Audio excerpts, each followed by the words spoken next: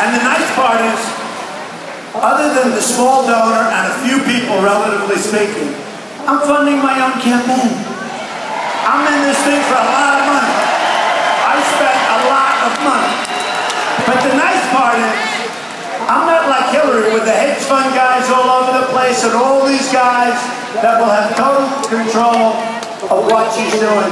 I'm working for you folks. I mean, it could be who the hell is day. It's a big day. And today, we had something where I understand, through largely small donors and some others, we had the biggest day we've ever had because of the success last night of the debate.